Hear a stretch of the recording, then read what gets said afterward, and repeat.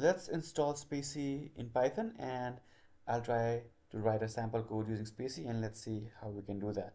First go to your browser and go to python-package-index.org so it is the short form for Python package index PYPI now search for spaCy now you get a bunch of options here a lot of options in fact. Now you need to choose the official one. Click on this first one and if you click on something else to make sure this is the official one what you can do is you can click on their where is it? Their home page and so this is the one we're looking for right? Okay now go back and scroll up here copy this command by clicking on this button.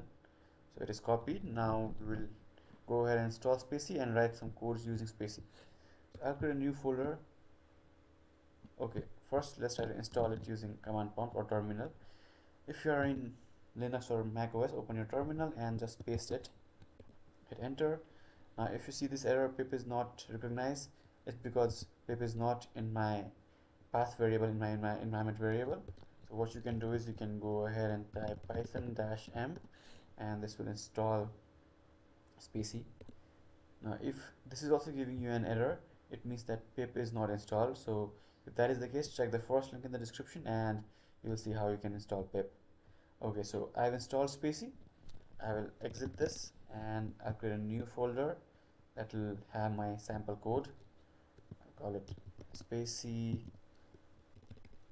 natural language. Let's open this and quickly let's create a new file that will have the sample code I will call it main.py let's open this and write the sample code. So I have the sample code here. Let's save this. You can pause the video and try to copy this. And I'll go back to my spaCy folder. Shift right click and open PowerShell window here. And I'm now trying to run this using Python. So if you have terminal open you can just go to this directory. As you can see this is my project directory. Now I'll try to run this let's see if spaCy works or not. So it seems to be running. Let's wait.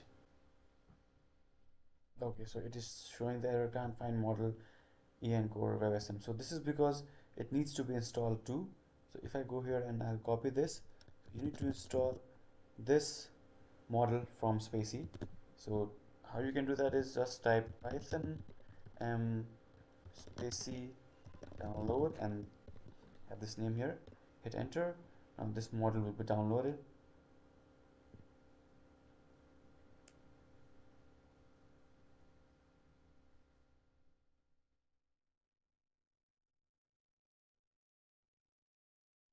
Okay now as you can see you are getting this message. And let's try to run this again.